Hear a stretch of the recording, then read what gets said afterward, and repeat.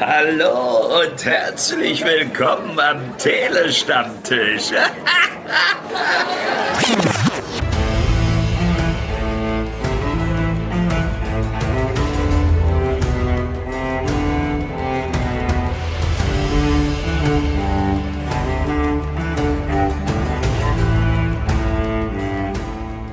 Zum vierten Male heiße ich euch herzlich willkommen hier bei den Recaps zu House of the Dragon beim Tele-Stammtisch. Wir haben uns erneut zusammengefunden, um über die aktuellste Folge zu sprechen. Und wer könnte mich dabei besser unterstützen als der Mann, der trotz aktiven Mitwirkens rund um die Ringe der Macht hier wieder mit dabei ist, der Dom. Hallo. Valadoheres, mir würde nie etwas anderes einfallen, als hier auch mitzumischen. Und wie zuletzt im Recap zur Folge 3, der Mann, der seine Abstammung von den Targaryens jedes Mal durch eine aufwendige Frisur verschleiert, Sven, hi. Hallo, Saldrises, Bustari, Ixos, Daro. Gostaro. Ja. Genau. Ja. Für alle, die kein Hochvalyrisch können, das heißt so viel wie ein Drache ist kein Sklave. Richtig. Und ich bin auch wieder dabei, euer Moderator Paul. ja. So, so ultra trocken kam das jetzt, es tut mir leid. Und ich würde auch wirklich sagen, wir gehen ohne zu zögern rein in die Folge, ohne größere Umschweife geht's los. Mhm. Zur Eröffnung begeben wir uns diesmal nach Drachenstein.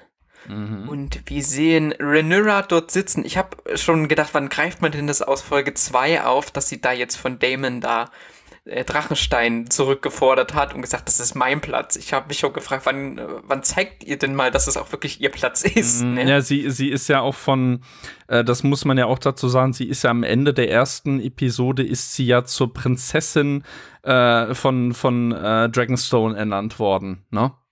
Also damit natürlich dann ja. auch zur Erbin eingesetzt worden, aber man, man könnte eigentlich sagen, dass äh, ihr Vater Viserys, der König, ihr äh, eigentlich jetzt schon eigentlich die Verantwortung über Dragonstone übertragen hat.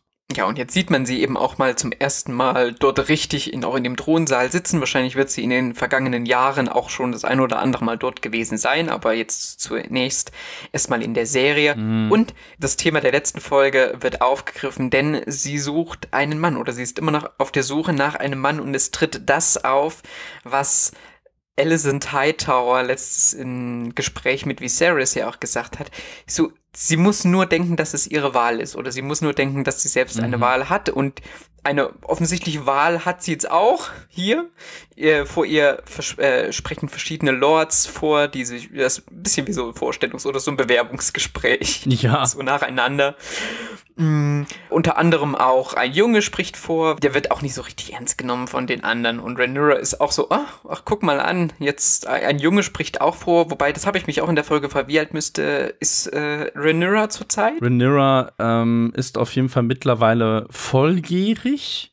So 19 das ungefähr? Also in der ersten Folge war sie ja, glaube ich, sollte sie 15 ich sein? Ich sagen so 16, 17? Nee, also war sie nicht in der ersten in der Folge ersten eher 14 oder so?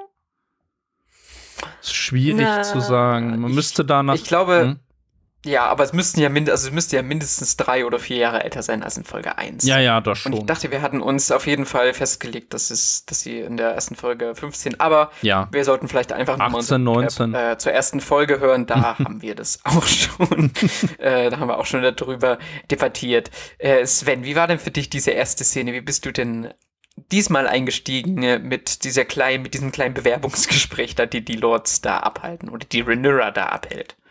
Auch ganz gut, außer dass ich es verwechselt habe. oder einfach nicht richtig verstanden. Dachtest du, das ist ein Flashback zu Daenerys oder wie? Ich dachte, warum sucht die jetzt eine Hand? ja, und dachte noch, naja, okay, gut, ähm, hast du halt mal wieder äh, Zeitsprung und nicht richtig aufgepasst. Boah, das, das wäre echt ein harter Zeitsprung gewesen, weißt du? So wie bei, bei House of Cards irgendwie so. Zwischendurch ist ihr Vater gestorben, sie ist jetzt Königin und braucht eine Hand und das ist mal ebenso von einer auf die andere Folge. Das, das wäre wirklich hart, ja. Aber ansonsten, es war wie immer sehr stimmungsvoll. Ich fand ihre, ihre Reaktion wirklich sehr gut, weil sie hat ja überhaupt gar keinen ernst genommen. Ich meine, den Kleinen fand sie ja ein bisschen schnuggelig, wo sie gesagt hat, ach Gott, ist der süß. Mm. Und ach mhm. Gott, ja. ähm, aber ansonsten, war älter als ihr Vater, ne? Ja. Aber ansonsten interessiert sie das null. Ja. Ja, Ja, und sie bricht ja dann einen, oder doch, es ist eigentlich schon ihre, also sie bricht ja dann einen kleinen Streit vom Zaun, der dann etwas krasser endet, als man denkt. Ah, ab- D- d- Das Ganze war, also das, das hat mir, ist mir manchmal vorgekommen wie so eine Theatervorführung. Also so wie, also so wie diese Dynamiken dort funktioniert haben, das kannst du dir, also wirklich, das kannst du dir eigentlich nicht ausdenken und wie die sich da haben, die Lords, die den auch den Jungen dann provozieren, der dann ja irgendwann sein Schwert zieht und den einen, ich weiß nicht, hat der überhaupt einen Namen bekommen, der dann dort niedergestreckt wird von diesem kleinen Jungen. Also irgendwie diese ganze Szene hatte was sehr Absurdes, fand ich. Und das Ja. charakterisiert eben auch nochmal diese Welt. Ja, es, ähm, wobei ich es auch toll fand, wie sie da mit der Erwartung gebrochen haben, weil äh, man denkt ja eigentlich, dass dieserjenige, welche, der ihn da die ganze Zeit vom Rand äh, des Geschehens verspottet, dass der den Jungen äh, mit Leichtigkeit niederstreckt, Mhm. aber stattdessen streckt der Junge ihn nieder. Und dieser Junge ist ja auch, also Blackwood ist ja, ist ja wohl auch eine sehr alte Familie. Da wird auch betont, in deren Adern fließt noch das Blut der ersten Menschen. Äh, da sehen wir ja auch tatsächlich, dass neben Rhaenyra äh, jemand sitzt, der sie irgendwie so ein bisschen berät. Das ist anscheinend ein Baratheon. Jedenfalls hat er einen Hirsch auf, äh, auf der Kleidung. Und äh, die Blackwoods wären wohl aufgrund einer großen Armee wohl auch eine sehr äh, günstige Partie für die Krone. Aber das Ganze äh, geht ja nicht so wirklich auf. Äh, also, ich glaube, Lucas, Lucas Blackwood äh, unterbreitet ihr dann, ja, ihr, ihr Wett beschützt bei mir, äh, euer Gnaden. Und dann meint der vom Rand, ja, sag mal, sie braucht keinen Schutz, sie hat verfickte Drachen. Und äh, ja, dann passiert halt genau das Gegenteil von dem, was man erwarten würde. Dieser äh, Typ, der eigentlich eher aussieht wie so ein verirrter Knappe, der streckt diesen diesen Typen da nieder. Das habe ich nicht erwartet Ja. und das sieht man auch nur so relativ Ja. aus dem Off. Ne? Ja, man, man sieht ihn dann eigentlich nur noch äh, röcheln und Blut spucken. Und also ich hab's, also für mich lief's dann eigentlich nur darauf hinaus, dass er den jetzt, weil es unterstreicht diese ganze Absurdität, die sich da abspielt, Ja. die sich, die, die, die sich da provo so provozieren lassen und dieses ganze, das ist eine total merkwürdige Situation, die ja dann, und also ich kann auch Rhaenyra so verstehen oder sie da auch wieder nachfühlen, wie sie da einfach nur dann doch lieber raus will, weil Mhm. was für ein Quatsch dort abgeht. aber wie, Ähm, aber ja, es gehört nun mal zu den Pflichten. Hm? wie gelangweilt sie davonläuft. Ja, Du ja durch diesen Pulk ja nur diesen Hintergrund siehst, wie der andere Typ dann genau. Ja, und sie ja, dann nur äh, Da dreht sie Ja. sich allenfalls so beiläufig um. genau, ja.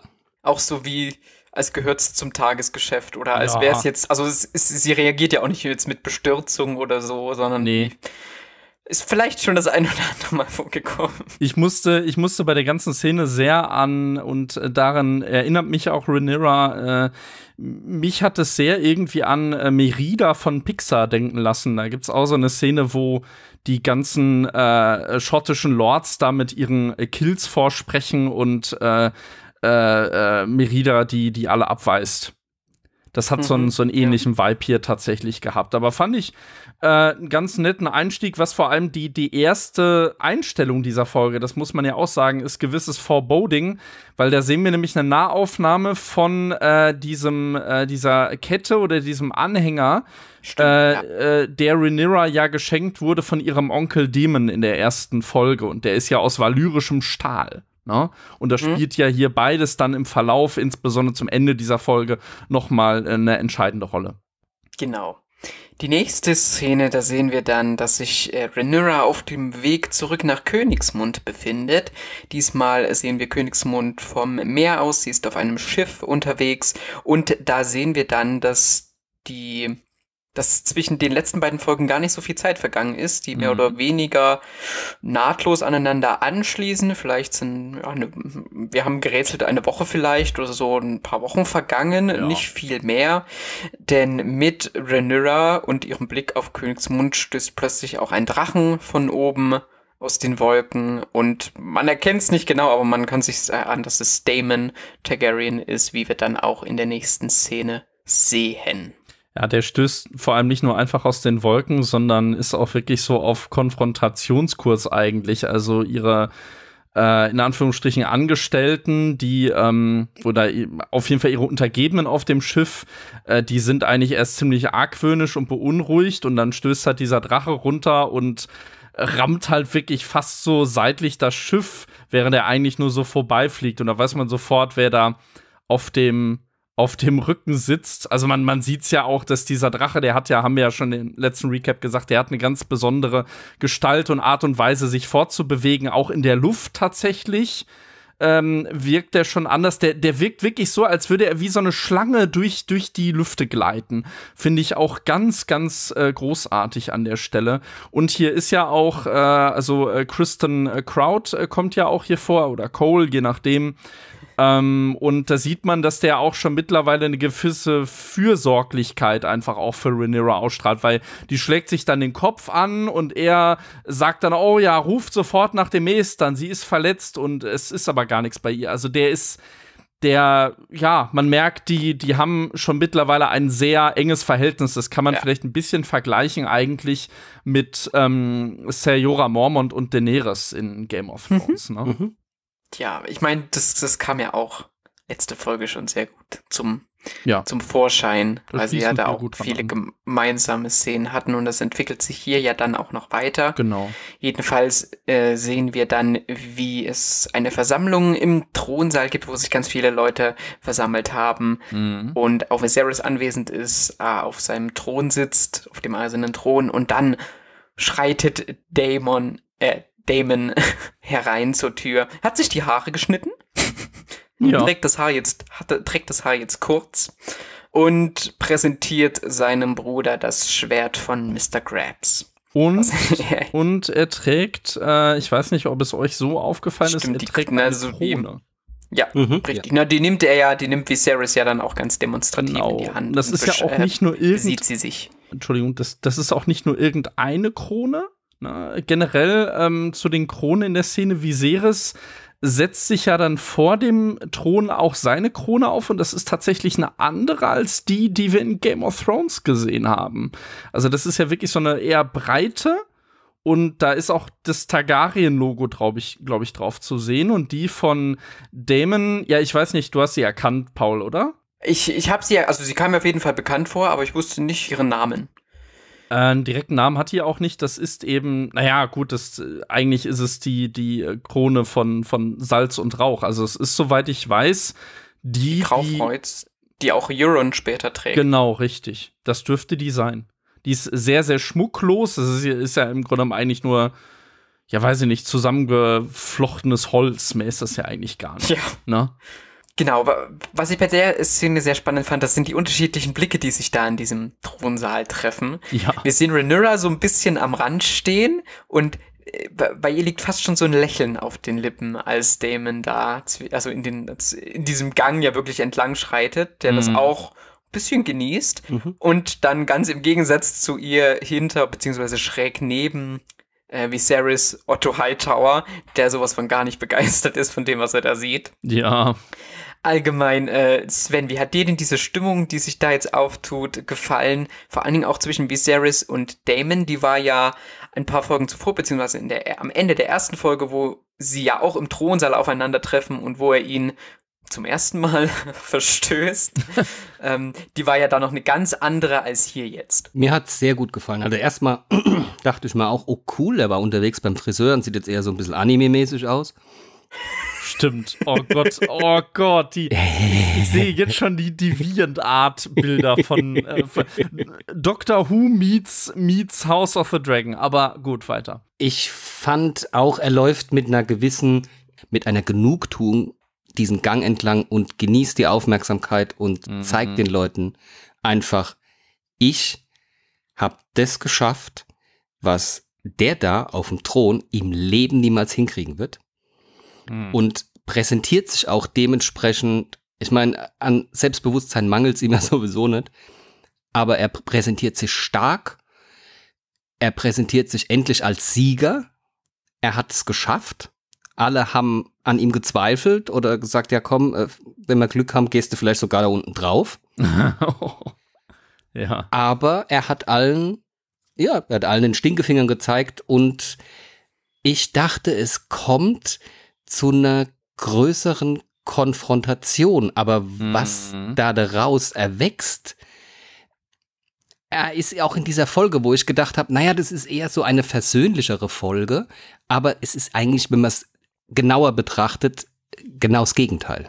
Ja. Aber Verlauf. später mehr. Genau. Ja. Ja, es ist ja, äh, man muss ja sagen, er ähm, über, äh, ich weiß nicht, Paul, du hattest gerade gesagt, er überreicht ja, glaube ich, Viserys das Schwert. Eigentlich schmeißt er es ihm eher vor die Füße. Genau, wirft es vor die Füße Genau. und meint, hier, stell das doch mal mit hin. Genau, das, das, das war auch so richtig, da musste ich so richtig an, ähm, hier, äh, oh, wie heißt der denn jetzt nochmal? Serbaristan Selmi denken in der, in der ersten Staffel, der dann irgendwie auch, der, der wird ja als zu alt abgetan und schmeißt dann Joffrey sein Schwert vor die Füße von, wegen, hier schmelz es ein und, und füge es zu den anderen. Ne? Das war ja auch so eine, so eine ähnliche Geste. Aber äh, Damon ist ja, also äh, nicht nur, dass er hier der äh, Triumphator ist, sondern auch äh, er äh, sagt, dass er jetzt König der Meerenge ist, kniet aber zugleich nieder und äh, legt äh, Viserys dann auch, glaube ich, die Krone zu Füßen. Na, also es ist Also er, ja, er nimmt sie dann zumindest hoch, genau. ja genau. Und es kommt ja zu dieser auch sehr symbolischen Geste, dass beide Brüder sich umarmen. Ja, hätte man auch nicht erwartet so eigentlich, ne? Nein, tatsächlich hätte ich auch nicht, zumal ich ja eher das Gefühl hatte, dass so bitte ein bisschen das Konfliktpotenzial, vor allen Dingen mit den letzten Szenen aus der letzten Episode. Ich meine, wir sehen ja, wie Damon auf diese, diesen, diesen Nachrichtenschnipsel von Viserys reagiert, Mhm. der da einen Mann halb totschlägt. Ähm, da jetzt gut, ich denke, der Sieg gegen den Crabfeeder hat ihn da, hat ihn da wahrscheinlich ein bisschen erbaut. Oder ein bisschen darüber hinwegsehen oder wieder, weil er es jetzt eben genießt und diesen, diesen Sieg, den lässt er sich jetzt da nicht so einfach wieder nehmen. Weil jetzt kann er auch sagen, ja, guckt mal, ich hab's auch ohne eure beschissene Hilfe geschafft. Vor allem, vor allem, äh, die Königsgarde ist ja durchaus in Alarmbereitschaft, ne? Also der stiefelt ja Mhm. erst auf den Thron zu und dann bedrohen die ihn Ja, schon. Otto ja wirklich. auch. Genau, genau. Otto ja auch. Ich denke, der wird da schon im Hintergrund so mal ein Wörtchen geredet haben hier. Passt mal auf, ne? Also, Ja, ja, wie gesagt, also er, er kommt ja auch in der Szene gar nicht so zu Wort, aber seine Blicke sprechen Bände. ja, das ist, Ja. oh, das ist so, also da, daran merkt man aber auch, wie, wie, ähm, wie wichtig diese Figur trotz allem äh, für, für das Geschehen ist einfach auch und wie unglaublich ausdrucksstark Russ Iphans die Figur eigentlich spielt. Ich will einfach hoffen, dass der jetzt mehr zu tun bekommt, insbesondere nach Ja. dieser Folge. Ja, aber er bleibt auch in dieser Folge mehr so ein Spielstein, der so, Ja, der immer, ja, aber kommen wir später zu. ja. Wir verfolgen diese Versammlung, oder es ist ja eigentlich schon wieder so ein Anlass, wo man eigentlich so ein bisschen ausgelassener ist oder so ein bisschen in Feierstimmung fast ist, nur diesmal eben äh, dort am Königshof. Es gibt dann wieder verschiedene Gespräche, Gespräche im Garten. Diesmal sind da auch ein paar mehr Leute im Garten anwesend, anwesend und unter anderem unterhalten sich auch Viserys und Damon und da wirkt es wirklich für einen Moment so, als wären da wirklich die Anspannungen zwischen den beiden bisschen verpufft. Also die Ja. reden miteinander, die scherzen miteinander und auch zwischen Rhaenyra und Alicent, die ja dort auch miteinander sprechen. D- Zwischen denen wirkt es auch sehr, sehr viel aufgelockerter als in der letzten Folge, oder? Ich weiß nicht, ob das so ein bisschen vielleicht forciert war für äh, von der Folge aufgrund des Endes, weil es ja dann wieder, weil diese Fassade dann wieder brüchig wird. Aber ich hatte für einen kurzen Moment das Gefühl, hoch, was ist denn hier los? Ist heute großes, großes Versöhnen? Oder das hat, Sven, du hast das ja auch schon so gesagt, so ein bisschen. Ja. Vielleicht mit, vielleicht steigt diese Folge mit so einer trügerischen Versöhnlichkeit ein. Wobei mir die, dies, also die Unterhaltung zwischen Rhaenyra und Alicent nicht gespielt vorkam. Ich Mhm. fand von beiden, dass sie ja so ein Herz gefasst haben, mal wieder auf sich zuzugehen. Ja, sich wieder anzunähern einfach. Genau. Man hat das ja, ja. aber findet ihr das nicht im, also wirklich in der, wenn ich an die letzte Folge denke und wir haben ja festgestellt, zwischen den Folgen liegt jetzt nicht so massiv viel Zeit. Ja, Weil in der letzten Folge ging es ja wirklich so, spiel weiter. Nein, also zu den Barden da, spiel weiter. Nein, geh weg, spiel weiter. Also da war das noch eine ganz andere Stimmung und ja, vielleicht wollen sie wieder so ein Stück auf euch äh, aufeinander zukommen, aber ich hatte so das Gefühl eben auch in Hinblick auf das, was später passiert.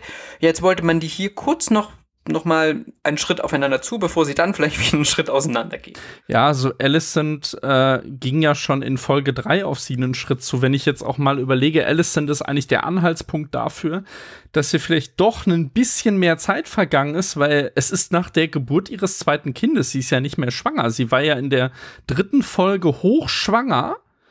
Ähm, mhm. Und jetzt ist ihr zweiter, ja, ich glaube doch ein zweiter Sohn auf jeden Fall, ne? Hör mir den mhm. Namen, ich weiß es nicht. Da wird gar nicht so drauf eingegangen eigentlich, ne? Nee, da wird, nee ich glaube, wir sehen nur später mal, wie, wie er zu Bett gebracht wird. Stimmt, genau, das sehen wir also ja, gut, man kann es sicherlich. Vielleicht ist etwas Zeit, ja, weiß ich nicht. Hm. Ja, also ich, ich meine, die war ja wirklich hochschwanger in, ja. in der letzten Folge. Ja, mindestens, also vielleicht ein paar Wochen. Ja, drei, vier Wochen, maximal einen Monat oder so liegt dazwischen, mehr nicht.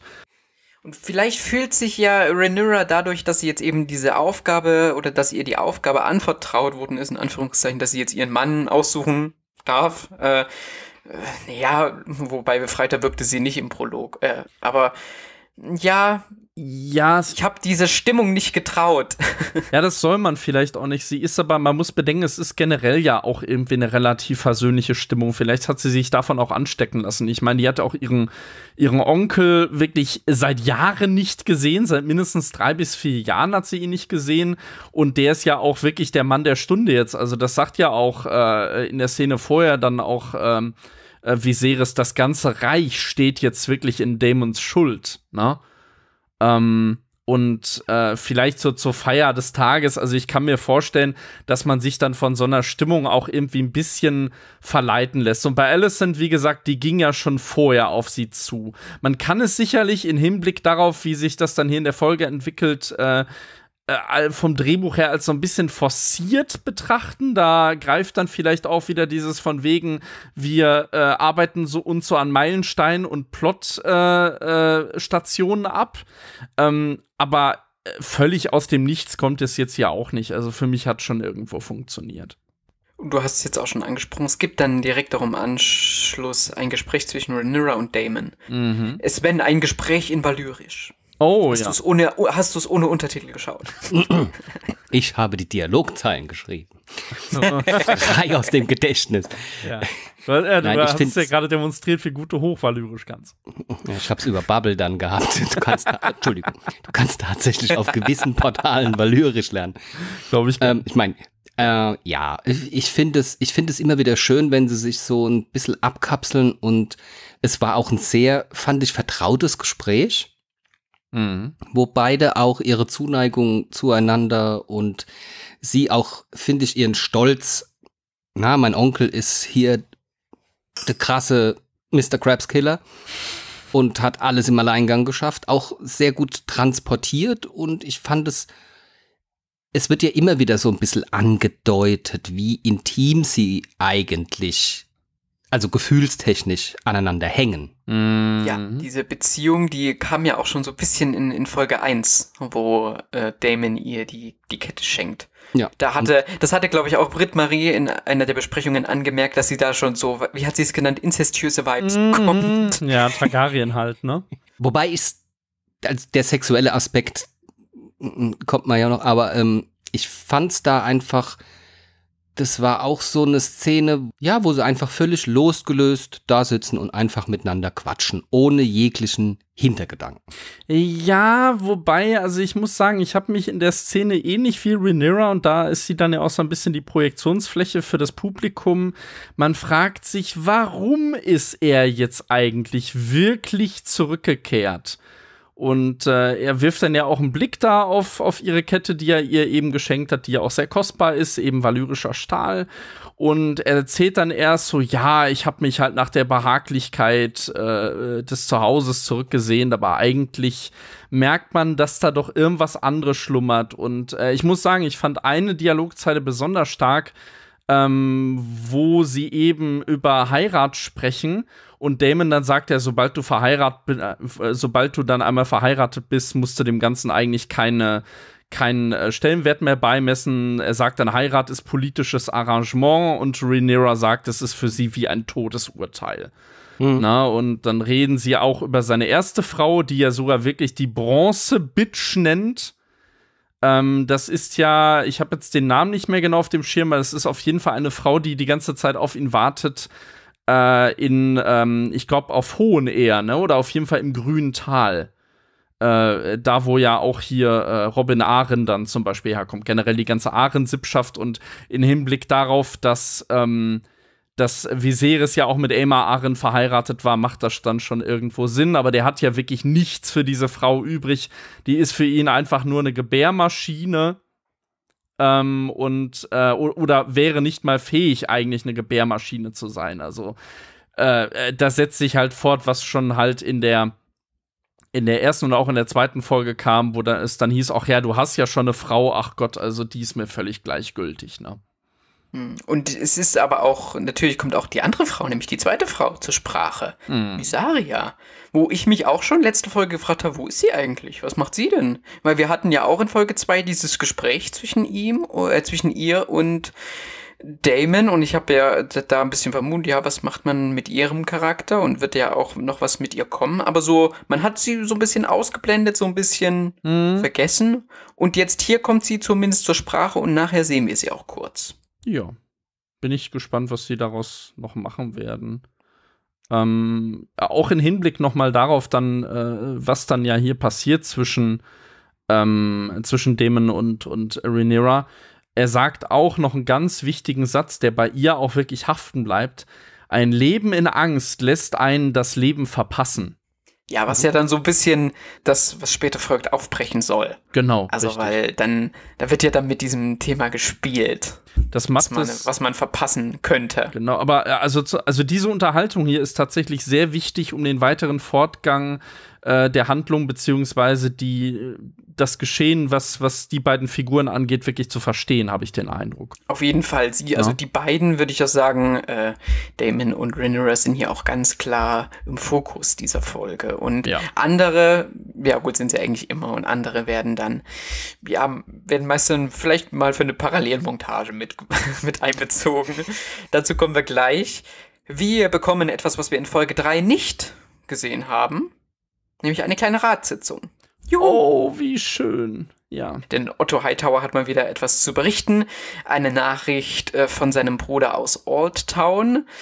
Auch wieder so ein Name, der Alsace. natürlich, der jetzt auch schon das ein, mhm. genau, ein oder andere Mal gefallen ist und der auch bei Game of Thrones Fans natürlich Bilder hervorruft. Oh ja. Von der wunderschönen Bibliothek. Von einem sehr hohen Turm auch, ja. Ja. Und der Bruder, der hat wiederum Wind davon bekommen, dass Corlys Valerian, seine Tochter, die er ja in Folge 2 Viserys angeboten hat, mhm. nun mit dem, äh, mit dem Sohn des Seelots von Bravos verheiraten möchte und er erhöht so ein bisschen den Druck auf Viserys, vielleicht auch wieder Verbindungen zu Valerian zu suchen. Durchaus. Ich meine, also die sagen ja wirklich, äh, Corlys Valarian, also die Seeschlange ist sehr stolz und der Stolz ist verletzt. Und naja, Lena, äh, die ja wirklich eine gute Partie gewesen wäre, ist jetzt so ein bisschen weg vom Markt und vor allem befürchten sie dann dadurch, dass möglicherweise die Seeschlange ja, schlimmstenfalls irgendwo abtrünnig werden und eine, eine Allianz mit den freien Städten bilden könnte. Und wer weiß, vielleicht haben sie sich da auch so ein bisschen ich meine, das, das riecht dann eigentlich so ein bisschen fast nach Crabfeeder 2.0 an der Stelle, ne? Sven, wie findest du das? Also ich habe irgendwie das Gefühl, also natürlich wird das, das Ränkespiel, das geht immer weiter, aber gerade haben die Valerians ja an Seite von Damon und seien wir ehrlich, also ohne die Valerians hätte es wahrscheinlich für Damon nicht so gut ausgesehen bei dem Crabfeeder. Mhm. Hätten diesen vielleicht nicht hinbekommen, da dann so erfolgreich aus Folge 3 zu gehen und jetzt wird hier auch schon wieder geplottet und so.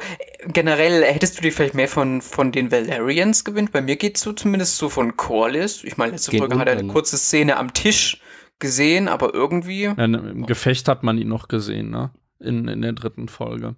Ja, es ist, es ist wirklich, das ist wirklich schade, weil von denen hätte ich gerne auch ein bisschen mehr gewusst ja. und mehr, ein klein bisschen mehr gesehen, einfach auch, wie wir es letzte Mal auch schon hatten, um die einfach auch einzuordnen. Ich habe natürlich ein bisschen nachgelesen, aber da dachte ich mir, das ist schade. Man hätte da wirklich so ein, ja, so ein paar mehr Valerians aufzeigen sollen, anstatt immer nur an irgendwelchen kurzen Besprechungen oder an einem Tisch oder mm. sonst was. Ich hätte über die gerne ein bisschen, ein klein bisschen mehr. Ja, stimmt. Jetzt muss, jetzt muss man halt sagen, ja, das, ich weiß, es die, die Serie ist House of the Dragon, äh, aber die, auch gerade Valerian hängt ja auch mit mm. drin und ist ja auch verbunden und gerade auch Rhaenys oder, also gerade das Ganze, was wir in Folge 1 und 2 ja schon so auch teilweise mit zu den Highlight-Szenen oder zu den ja, kleinen Überraschungen oder so gezählt haben, das finde ich schade, dass es hier manchmal so unter den Tisch fällt. Also ich hoffe wirklich, dass man da auch noch was zu sehen bekommt. Ja, vor allem, wo ist Rhaenys? Die sind wir ja, ja gar nicht mehr. Also das ist, ja, also ich meine, die, äh, ich muss ja sagen, äh, die Maus hat, also hier hätte sie sich spätestens Lebt eigentlich sie noch? zur was? Ja, vielleicht ist sie weggestorben, keine Ahnung. Ähm, sie, sie könnte sich hier so langsam ein bisschen, also sie hätte sich, wenn sie in dieser Folge hätte auftreten können, hätte sie sich wirklich so ein bisschen zur Olenna Ty äh, Tyrell, äh, äh, äh, zum, zum Olenna Tyrell Pendant so ein bisschen mausern können. Ne? Aber vielleicht kommt das ja noch, aber Collis Valarian, also da kann ich auch äh, Sven nur zustimmen.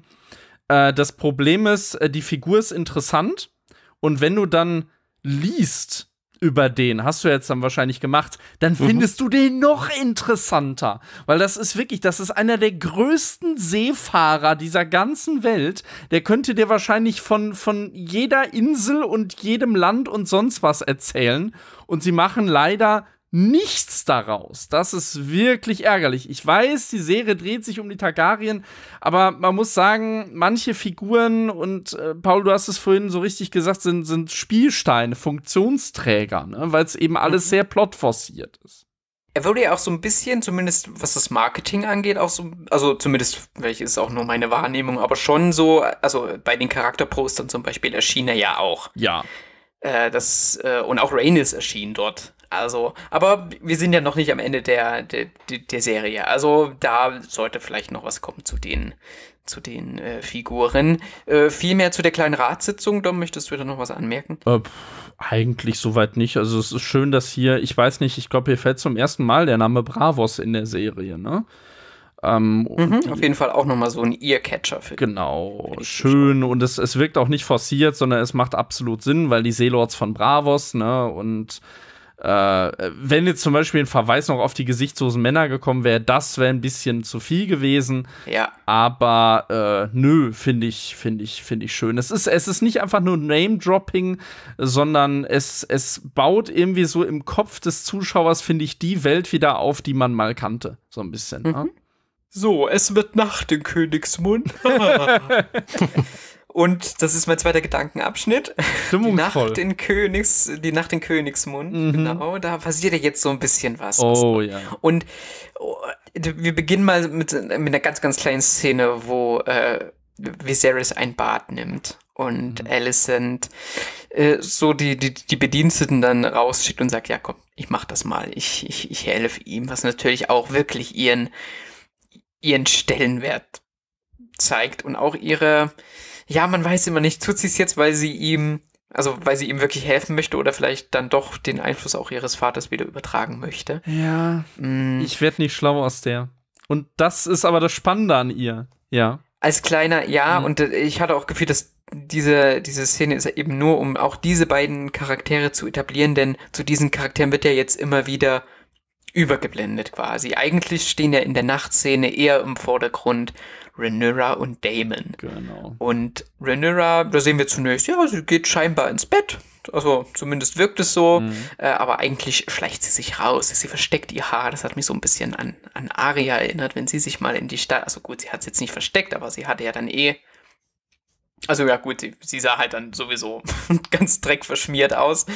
Und sie schleicht auch wieder an, der, an dem Kopf von Balerion vorbei und trifft dann auf Damon. Und da habe ich gedacht, oh, was macht die denn jetzt? Mhm. Also, wo geht's denn jetzt hin? Und dann schleichen sie sich gemeinsam raus nach Königsmund, also in die Stadt, in die dunklen Gassen. Und das muss ich sagen, das war echt ein spannender Einblick und ich hätte mir fast gewünscht, oh, ich hätte auch gerne mal so eine Folge aus Sicht von den Leuten, die da in Königsmund leben. So mhm. aus deren Sicht, wie sie das alles erleben. Und ich fand diese, diese nächtliche Stadtsequenz, wo sie da wirklich durch die engen, verruchten, dunklen, äh, hin und wieder, da fackelt mal äh, eine Kerze oder, oder fackelt mal ein Feuer und so. Also das fand ich unheimlich stimmungsvoll. Sven, wie ging's dir? Ich muss sagen, als sie abgebogen sind, dachte ich, ah, so sieht also die Nocturngasse aus. und es hat mir im Hintergrund teilweise, also es hat mich wirklich komplett dran erinnert. Mhm. Und mir hat im Hintergrund echt nur noch gefehlt, dass jemand ruft, ihr giftigen Schneckenschleim zu verkaufen. Weil sie laufen ja an verschiedenen Gestalten vorbei, die ihnen dann ihm irgendwas präsentieren und na, wie sieht's aus? Kaufen? Ja, ja. Es hat mir, es hat mir sehr, also ich mag das. Ich mochte das mhm. auch schon vorher, weil es einfach auch ein, ein dreckiges, verruchtes es ist mal, trotzdem es ist mal eine Abwechslung, ne? Ja, ja es ist eine Abwechslung, genau. ganzen Hoch, Hochglanz von den Targaryens, von dem Königshaus, ja. Genau, und da hast du einfach so dieses, ja, das, das, das bürgerliche Bild, ja, die leben oben in ihrem alles schnieke, alles super, ja, und der Rest kippt halt die Scheiße auf die Straße. Ja. Das ist ja so ein bisschen das, was mir auch bei, bei House of the Dragon eben durch diesen Fokus fehlt, dass du bei Game of Thrones ganz viele verschiedene Handlungsstränge und teilweise ja auch, die jetzt nichts mit der Königsfamilie oder eben zum Beispiel Arias Handlungsstrang, gut, sie ist jetzt verwandt mit den Starks, aber sie erlebt ja wirklich das, das Leben als ein Niemand in dieser mhm. Welt. Mm. Und diese Perspektive, die, die fehlt hier natürlich eben durch den Fokus auf die Targaryens fast vollständig und hier in dieser Szene, also es war wirklich mal eine Abwechslung, also das fand ich toll. Es schafft auch eine super Atmosphäre. Ein, und und die, die, die Szenerie ist ja nicht lang, sondern sie gehen durch, sie gucken sich auch noch dieses Theaterstück oder gucken ja, sich dann später Theater, das kommt ja in genau das Theaterstück. Nee, ja. Nee, genau, das passiert ja dann da. Und also, wie gesagt, es gibt immer mal dann den Umschnitt zu äh, Alicent und Viserys, aber dazu können wir dann ganz kurz kommen. Bleiben erstmal bei denen hier. Szene, ja. ja. Äh, dieses Theaterstück, ne? Also sofort die Flashbacks zu mhm. Staffel 6 und zu Aria in Bravos. Und eigentlich spiegelt sich diese Szene ja hier genau, genau wie Aria damals sich angeschaut hat, was eben, ja, da hat sie ja quasi die Handlung von Game of Thrones oder von ihrer Familie und von dem König und so äh, erzählt bekommen, vorgezeigt bekommen. Am Anfang hat sie auch noch äh, gelacht, bis sie dann gesehen hat, wie ihr, wie ihr Vater und so weiter dargestellt mhm. wurde. Und der ganze Handlungsstandort um Lady Crane. Und das wirklich wirkt hier sehr, sehr ähnlich. Ja. Also wirklich, bin mir nicht sicher, ob es mich schon fast gestört hat, weil es wirklich so ähnlich war, weil man arbeitet natürlich mit denselben Witzen, aber es ist halt eben dann für das Volk dort gemacht und mit diesen Übertreibungen und mit dem, da holt er da so einen riesigen Stockpenis raus mhm. oder so. Also es ist dieses, es fühlt sich wirklich sehr, sehr, sehr doll nach der sechsten Staffel von Game of Thrones an. Ja, äh, mich hat es natürlich auch unweigerlich daran erinnert. Auf der anderen Seite, ja, ich meine, da hast du nun mal auch irgendwo dann die Stimme des Volkes und die Wahrnehmung ja, des Volkes an, an der Stelle. Ne? Also ich kann auch nur mal sagen, in der Szene mit vorher mit der Gasse fand ich ganz großartig. Äh, das hatte für mich so äh, ich weiß, ich, ich weiß nicht, warum ich hier ständig mit Disney-Referenzen komme, aber es hatte wirklich auch was von mir von, von hier Aladdin, wo, wo Jasmin da irgendwie heimlich äh, zum ersten Mal nach, nach Agrabah reingeht. Und das also ist ja irgendwie auch so ein Klischee, die Prinzessin will mal außerhalb des Palastes sein und so. Das stimmt, ja. Und das haben sie aber hier gut rübergebracht. Das ist, also sie, sie schaffen es auch wirklich, wie sie da durch, durch diese Gassen da stromern. Das sind da wirklich Musikanten, Gaukler, Seiltänzer, Wahrs eine Wahrsagerin, die da irgendwie das, das erinnerte auch so ein bisschen an diese Hexe äh, in, in dem Flashback in Staffel 5 mit Cersei, ne? Mhm. Ähm, fand ich richtig, richtig toll. Und das Theaterstück, da fand ich auch wieder ein schönes Detail. Ich weiß nicht, ob, nee, ich glaube, das gab es in Staffel 6 nicht. Da muss man bedenken, das war natürlich auch in Bravos. Äh, hier Bravos, spielten ja. Männer tatsächlich auch Frauenrollen. Ne? Also wie das üblich war äh, selbst am Hofe von, von, weiß ich nicht hier, also zu Shakespeares Zeiten, zum Beispiel am Hofe mhm. von Königin. Elisabeth oder so. Das war ja ganz üblich, dass Männer auch Frauenrollen gespielt haben, damals im Theater fand ich sehr authentisch dahin und man merkt ja auch, was, was die für einen Blick äh, auf die ganze Situation haben mit Rhaenyra. Und ihr bleibt dann ja, also ihr, ihr gefällt das ja nicht, was sie dann da sieht, weil letzten Endes sieht sie dann da auch sich nur bestätigt, ja, äh, äh, alle anderen außer sie haben erstens den Namen von Eroberern und zweitens einen Schwanz. Ne? Und deshalb mhm. hat sie in deren Augen keine, keine Chance eigentlich. Und die sprechen sich eigentlich auch für ihren zweijährigen Bruder aus als Erben und König.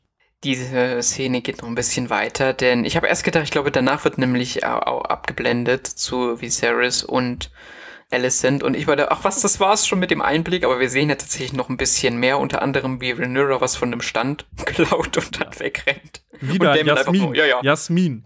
ja. wo, wo Damon einfach nur sagt, ja, ja, ich, ich kümmere mich drum. äh, sie wird dann, äh, Rhaenyra wird dann ja kurz sogar aufgehalten von einer Wache der, der Königsgarde. Ich habe es nicht ganz erkannt, war das, war das ein Leibwächter, weil er sie so erkannt hat, oder war es einfach eine Wache, die einfach die Prinzessin dann erkannt hat? Ich glaube, also sie läuft ja auf jeden Fall irgendeinem Seher in die Arme. Ähm, mhm. Wer das ist, weiß ich nicht genau, aber ich meine, er hätte sie erkannt, aber er sagt ihr dann irgendwie, seid vorsichtig. Ja, ja doch, er hat sie auf jeden Fall, genau, genau er hat sie auf jeden Fall erkannt. Se, seid vorsichtig, ihr habt nicht immer so ein Glück wie jetzt, ne? Beziehungsweise mhm. andere stechen erst zu und stellen dann Fragen wahrscheinlich so ein bisschen, ne? Ja, jedenfalls führt sie dann Damon in, ja, ist es ein Bordell, ich würde schon sagen. Ja. An einen Ort ja. dieses, dieses total, dieses Verruchte, dieses total Zwielichte oder dieses Dunkle, das hatte was total Soghaftes an sich. Sven, mhm. wie ging's dir? Hast du endlich das bekommen, was du in der letzten Folge vermisst hast? Nein, nee. Es war einfach zu dunkel. Ja, das Nein, war's als, wirklich. Als sie da rein sind, dachte ich, okay, jetzt geht's rund. Mhm. Und mir war auch klar, dass sie da nicht drin ist, um sich irgendeinen Burschen oder irgendeine Maid zu krallen, mhm. sondern ich, mir war schon klar, auf was es hinausläuft. Aber, aber das kommt dann auch erst danach. Also das Resultat, da bin ich mir nicht sicher, was ich davon halten soll. Mhm. Ja, wir können sie ja auch direkt jetzt schon ansprechen. Ich meine, was dann dazwischen geschnitten wird, das können wir auch gleich drauf eingehen.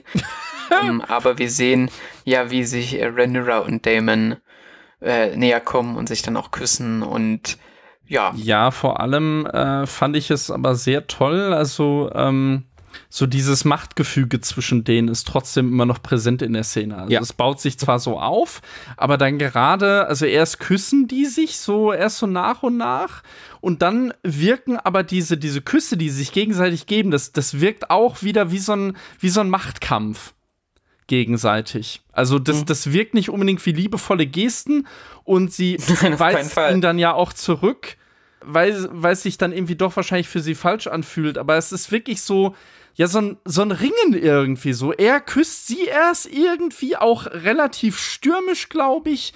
Und dann lässt er von ihr, von ihr ab und sie reagiert dann auf ihn und also als, als ob die sich versuchen, gegenseitig zu übertrumpfen in dem Moment. Das ist fast eine Art, ja, Macht-Wettstreit irgendwie. Fand ich sehr toll. Also, das stimmt. Und mhm. deswegen, also unter anderem glaube ich auch, dass er sie, ich sag's jetzt auch mal, bewusst in eine Falle gelockt hat. Ja. Den Gedanken, den Gedanken hatte ich nachher auch, aber das äh, widerspricht sich dann mit dem, äh, mit noch was, was dann auch noch passiert. Aber daran hatte ich auch gedacht. Aber ich hatte, ich kann auch das äh, nachvollziehen, was du gesagt hast, Dom. Mhm. Es hat sich äh, ein bisschen wie auch von der Inszenierung her dann irgendwann wie ein Rauschzustand angefühlt, bei dem sich beide eben, oder in dem sich beide irgendwie äh, reingesteigert haben, bis dann Damon sagt, nö, jetzt, mhm. also, mhm. bis er dann sagt, tschüss. Jetzt kann man natürlich reden über, über diese Szene. Man sieht nicht viel, man sieht, wie gesagt, alles sehr schwummrig.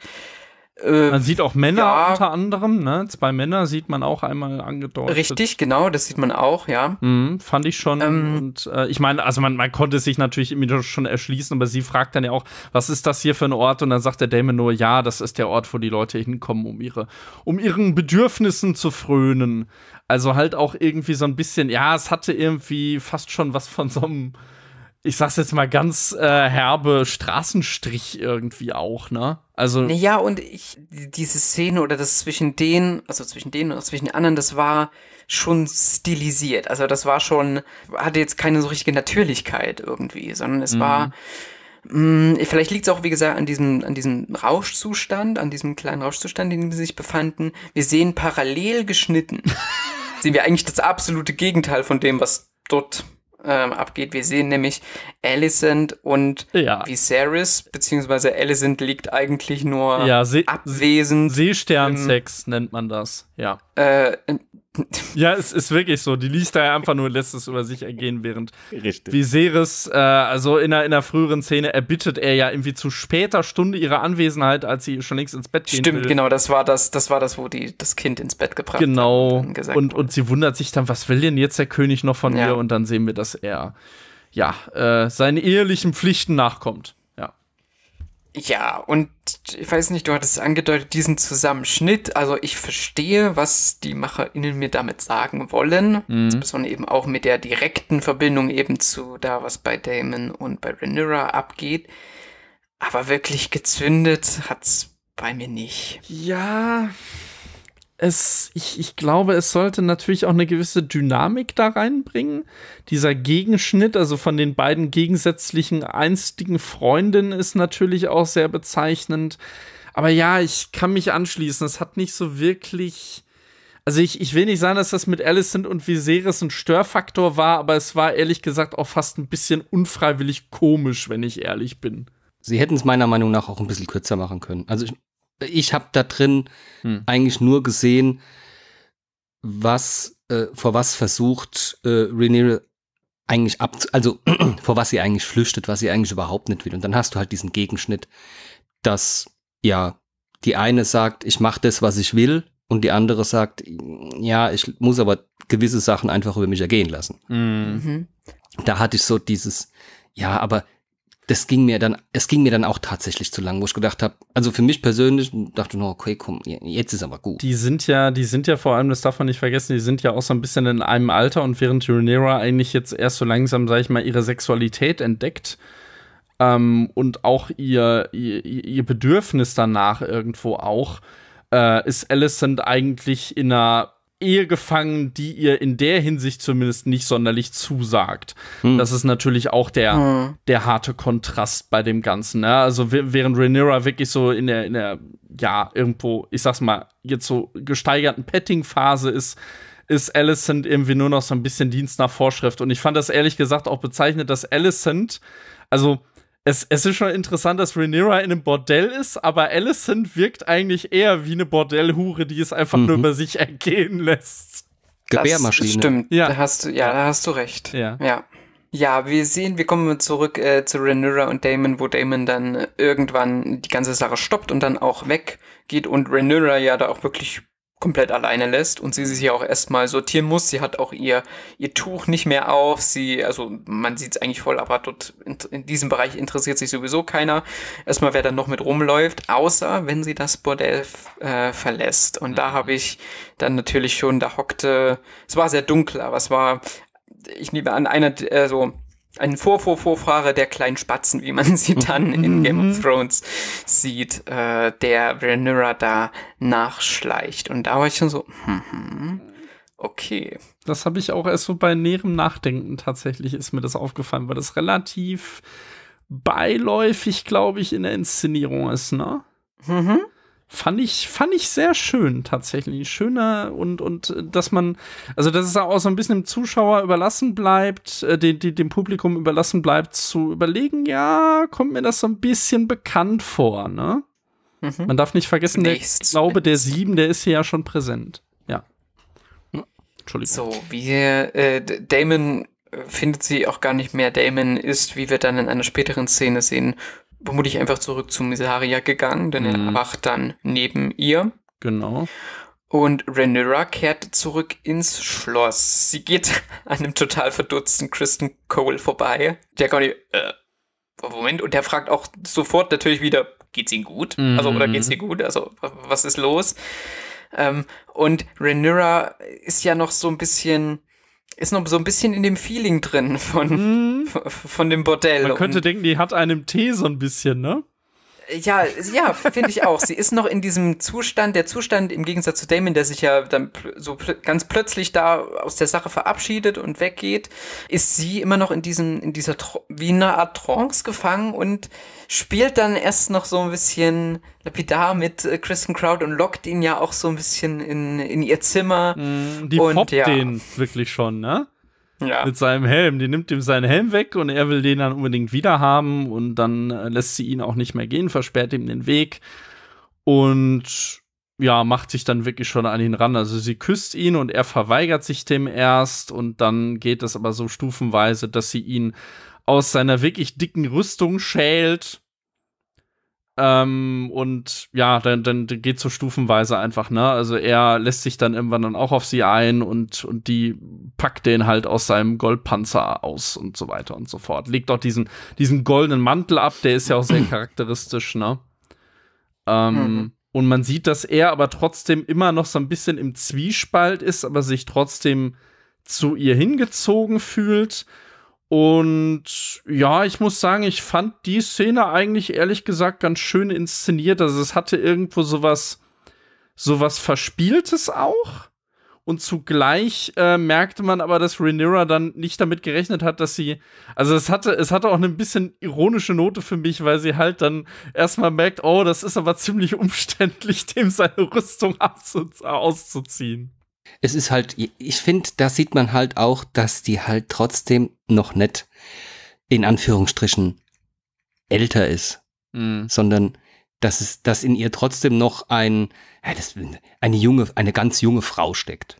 Ja. Ein Teenie und dieses eigentlich. Verspielte einfach noch da ist. Ja. Also, ja, das hört sich jetzt bescheuert an, aber mm. ihr wisst, was ich meine. Ansonsten finde ich die Szene ist schön gemacht. Es hat auch wieder so ein bisschen so diesen, äh, ja, diesen, diese Folge steckt voller Liebe. Zumindest ansatzweise. und es ist, ja, es ist super inszeniert, es ist stimmungsvoll, aber ich dachte halt auch, ja, okay, das, das hätte der jetzt echt nur andeuten können und dann. Ja, wo sie haben's, ich muss sagen, ähm, also hier Millie Alcock hat ja dann auch hier ihre erste Nacktszene und ich muss sagen, das ist eigentlich auch sehr ästhetisch inszeniert. Ja, ja das ist natürlich auch wieder die Frage, für wen ist das ästhetisch? Ja, natürlich, aber es wirkte jetzt nicht so krampfig drauf getrimmt, sie jetzt irgendwie. Äh Nein, es, es, es, es wirkt halt auch hier stilisiert oder auch hier inszeniert. Eher. Also es wirkte jetzt nicht ausbeuterisch, so nach dem Motto, oh, die muss jetzt aber so langsam mal äh, Haut zeigen. Und wieder, es ist mir wieder aufgefallen, erstaunlicherweise haben wir hier mehr männliche oder mehr Fokus auf männliche Nacktheit als weibliche. Kommen wir mal zu den Folgen dieser Nacht. Mhm. Denn das ist quasi der letzte Abschnitt oder der, der letzte Abschnitt dieser Folge, die, auch wenn ich so meine Notizen überfliege, gar nicht so viel, also jetzt inhaltlich, weil diese Nachtszene, die nimmt schon ganz schön was ein. Ja. Und jetzt eben auch das Nachspiel Haha. Mm. ähm, wir sehen einmal, wie gesagt, Damon äh, wacht bei Mysaria auf und da sehen wir auch, aha, Mysaria, sie gibt's auch noch, sie ist auch noch da, aber sehr viel mehr erfährt man in der Szene nicht.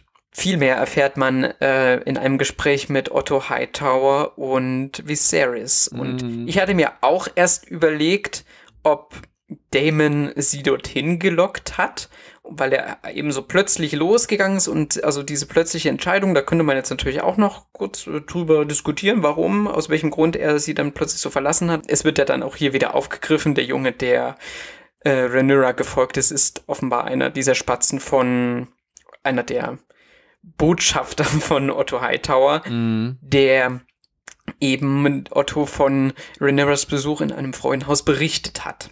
Hat auch wieder gewisse wahres Vibes, ne, mit dem Vögelchen. ich war vielleicht noch Dom, was sagst du denn? Warum ist Damon plötzlich äh, so plötzlich dann aus dem ja aus dem Bordell gegangen? Ja, ich habe da eine ganze Weile drüber nachgedacht und ich muss sagen, hm, tue ich, tu ich mich schwer mit, ehrlich gesagt. In der Hinsicht kann ich nicht so in seinen Charakter reinsehen. Das ist einfach sein Charakter im Weg. Ich habe es auch nicht, nicht ganz deuten können. Ich weiß nicht, Sven, ob du da was. Glaub ich, also ich persönlich glaube es nicht, weil hm. er hört so abrupt auf.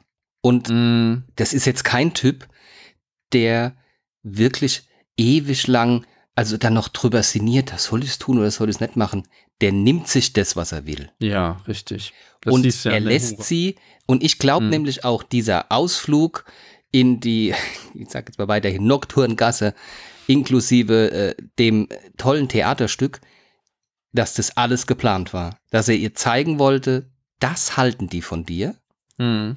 Sie gehen rein, er bricht sozusagen ihren Willen und zeigt ihr dann auch noch, ich bin hier oben und du da unten, wo du hingehörst, geht raus, die Leute wissen, also ne, die Spione, das war ihm klar, dass die natürlich auf Schritt und Tritt verfolgt werden. Mhm. Ich glaube wirklich, er sagt, alles klar, jetzt schießen wir gegen die anderen und will sie vielleicht bei seinem Plan, den er dann ausheckt oder auch nicht, auf seiner Seite haben und einfach sagen, du weißt doch, was die Leute von dir halten und ich kann mir auch ganz gut vorstellen, dass die, das Szenario, das am Ende dann passiert, dass er das wusste. Um ihr einfach auch nochmal zu zeigen, die Leute halten dich für Müll, für Mhm. Du hast einfach diesen Platz der Thronfolge nicht verdient und schließ dich mir an. Mhm. So auf dem, auf dem Trichter bin ich dann, gerade so auch mit der letzten, mit der letzten Sequenz bin ich eigentlich. Aber Alles vielleicht. andere wüsste ich, wüsste ich nicht, ja, warum. es ist, es, es ist ja, ähm, wenn ich jetzt noch mal drüber nachdenke, ich hatte ja gerade eben schon diesen, diese, äh, ja, Liebeleien zwischen denen in dem Bordell hatte ich ja irgendwo so ein bisschen so als Kräftemessen, als Machtkampf bezeichnet. Und es kann natürlich auch sein, dass ihm, also vielleicht hat er sie auch unterschätzt. Weil sie fordert ihn ja irgendwie auch so ein bisschen heraus. Und es kann sein, dass er sich da dann noch mal irgendwie zurückgezogen hat. So könnte man es auch interpretieren es lässt schon Spielraum irgendwie für, für Spekulation, ne? Und da merkt man dann vielleicht auch, dass er äh, so ein Charakter ist, in dem man, was das angeht, nicht so ganz hineinsehen kann oder nicht so sehr, wie man sich das vorstellen würde. Aber die Interpretation von Sven finde ich tatsächlich schon ziemlich äh, Ja. schlüssig, muss ich sagen. Kudos. Ja. Ja, Otto berichtet, wie gesagt, Viserys von diesen Beobachtungen, der erstmal völlig außer sich ist und das auch gar nicht wahrhaben möchte und den Spieß so ein bisschen umdrehte, weil er auf einmal Otto äh, Hightower äh, konfrontiert mit zum Beispiel der, der Spionage. Und da war das erste, und da kommen wir jetzt auch noch mal kurz zu Otto, Mhm. der, mit dem wir am Anfang der Folge so schräg reinblicken haben sehen.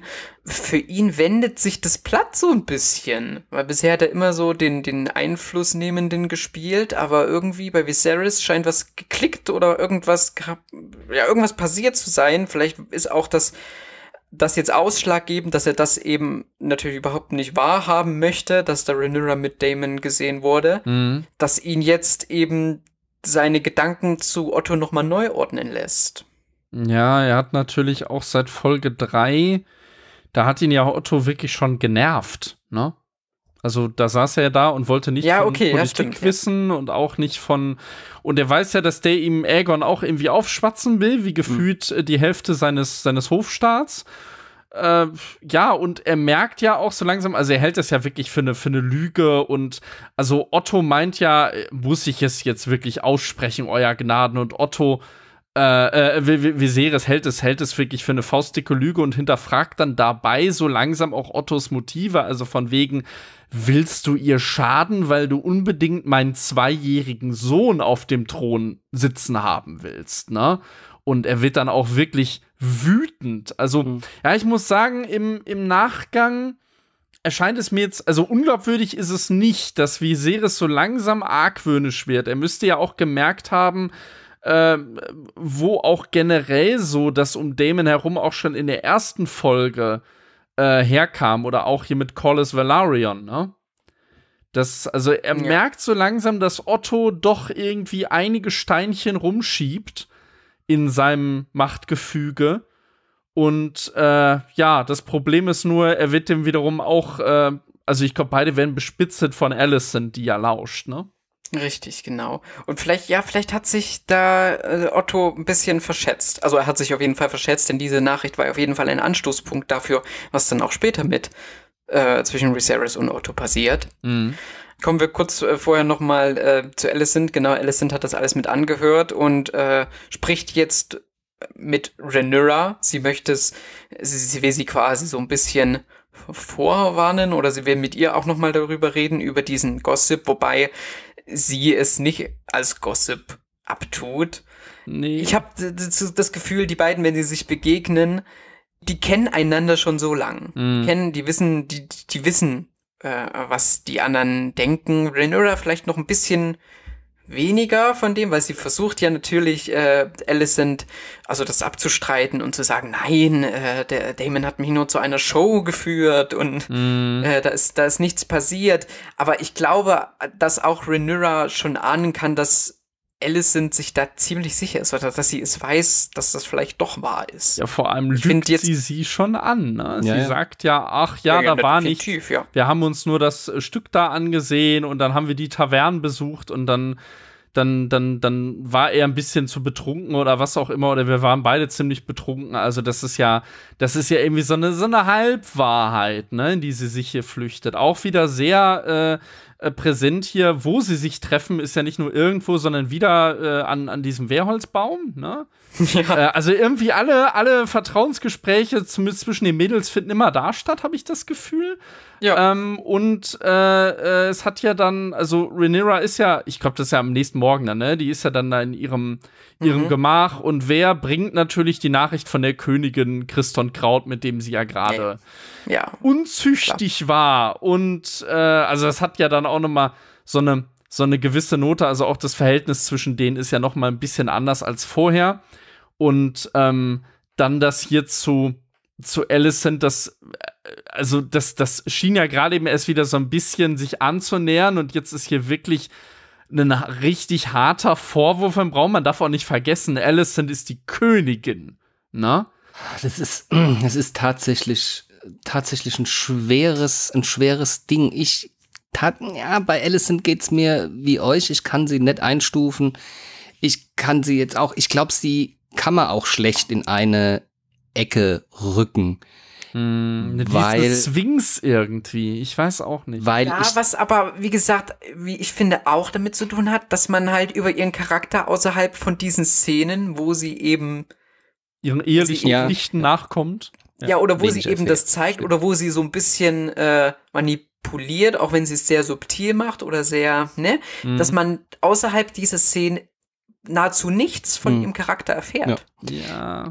Ja, das, das, das stimmt. Wobei ich ihr immer noch nichts Böses unterstellt habe, bis dahin, wo sie gelauscht hat, weil sie könnte, ja, okay, sie würde sich dann gegen ihren Vater stellen, sie könnte das Ganze ja eigentlich schon aufklären.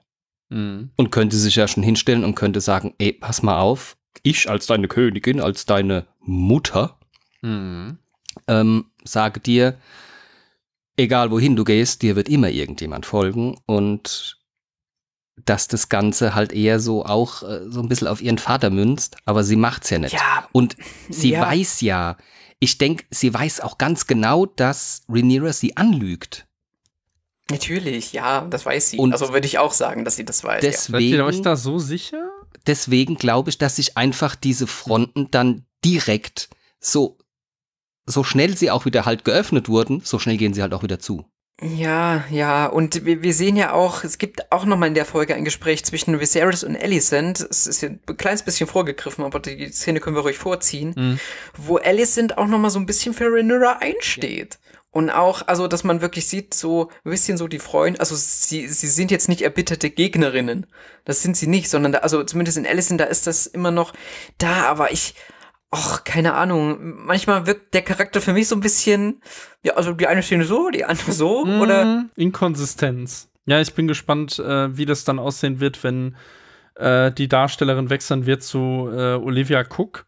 Also, ich, ich bin mir nicht so ganz sicher, ob Alicent wirklich weiß, dass äh, Rhaenyra sie anlügt, weil sie sagt dann nämlich in der Szene eigentlich, dass sie ihr glaubt. Aber wir sind jetzt auch, glaube ich, ein bisschen, bisschen zu weit gesprungen, weil äh, es kommt ja noch was dazwischen, ne?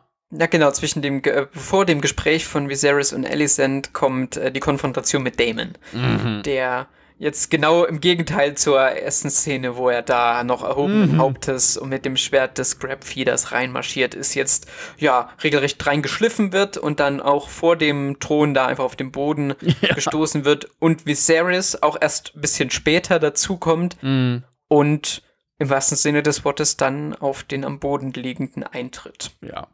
Starkes Bild, wie der da auf dem Boden liegt, ne? Also auch so boah, irgendwie so. Und ich fand, also die Szene war, die, die war, boah, die war, fand ich schon sehr unangenehm. Ja, das sollte sie auch sein, ne? Wobei ich mich, was ich mich frage, Ich meine, die Targaryen gibt's ja jetzt nicht erst seit fünf Jahren. Ja. Und die Inzest-Story ist ja, zieht sich ja durch die ganze Blutlinie.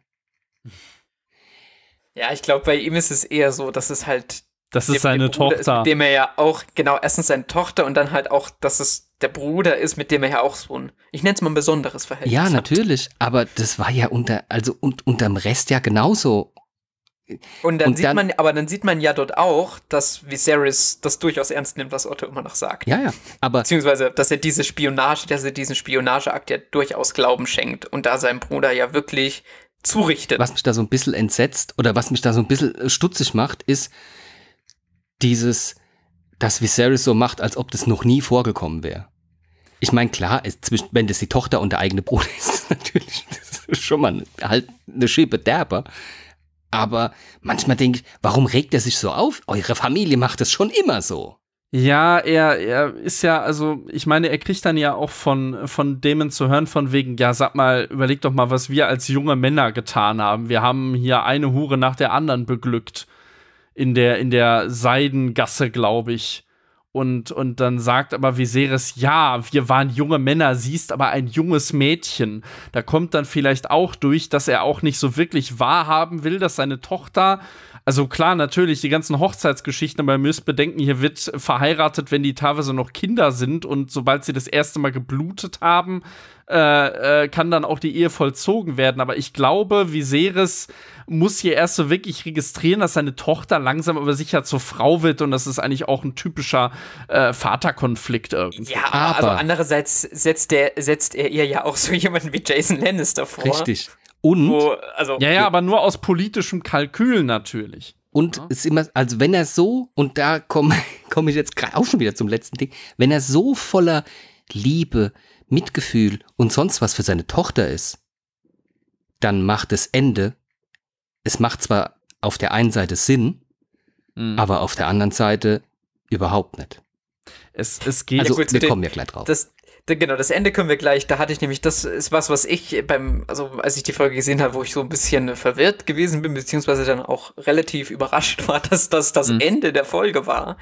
Ähm, was man nicht außer Acht lassen darf, äh, Viserys ist ja vor allem erbost darüber, dass er ja Rhaenyra letzten Endes, also zumindest aus seiner Sicht, die Jungfräulichkeit genommen hat und dass ja kein Mann sie jetzt mehr wird heiraten wollen. Und der versucht sie ja wirklich geradezu verzweifelt, wirklich jetzt schon über einen ganzen Zeitraum hinweg zu verheiraten. Das spielt natürlich auch damit rein.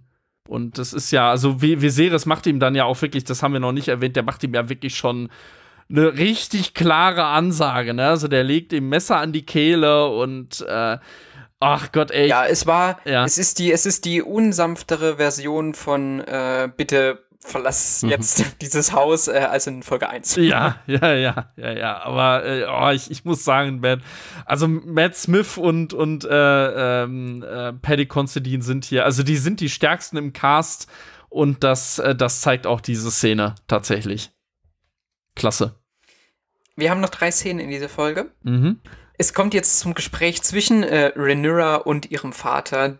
Und schon der Beginn dieser Szene ist ja, also Rhaenyra wird ja regelrecht vorgeführt erstmal, wie sie Mhm. da in Begleitung der Wachen zu ihrem Vater gebracht wird. Und ja, in dieses Zimmer da, ist das auch das Zimmer mit der Burg? Ja, ne, mit diesem Modell, Glaube schon. oder? Mhm.